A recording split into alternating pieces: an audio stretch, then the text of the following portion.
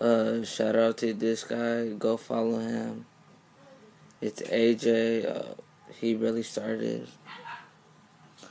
But yeah, go follow him. He's live right.